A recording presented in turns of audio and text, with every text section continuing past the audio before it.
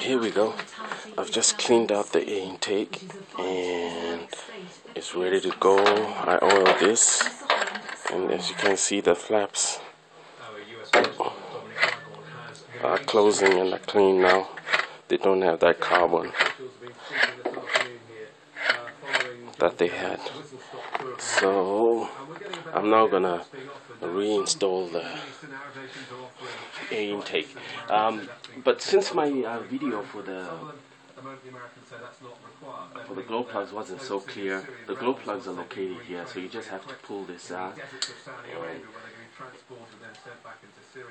But other Arab nations are pinch in there, and then it loosens, and there's the glow plug. So the glow plugs are all there. And, uh, so that makes it great. Um, they also say that they are getting support. And the glow plug module or controller is here in case you need to change it some other time. So, so I think we're ready. One, two, three, four, five, six. Make sure I got six screws, six nuts.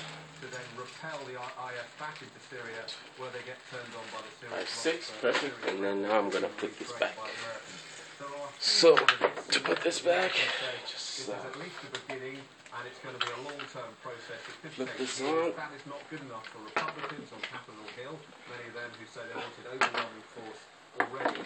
And obviously it means that we're going to see potentially a lot more bruising beheadings like this if they're happening, no matter one every two weeks. And this military campaign is going to take, well, possibly years, certainly months.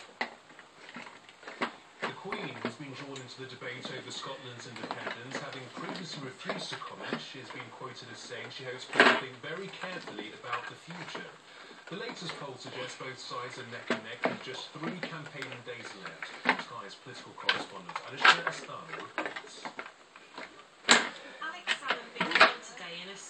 mood after the news of the murder of Scott David Haines. But with so little time left until his historic vote, he carried on with a plan this afternoon to bring out the big guns. I have to come from this end. Appeal to Scottish hearts.